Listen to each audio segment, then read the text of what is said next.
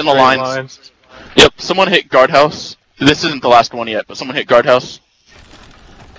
That that one there. Hit that one. We all aim to the aim up. All right. Wait, we're all on the line.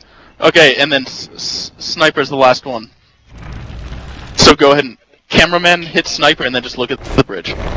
Should we all shoot towards it? I don't care.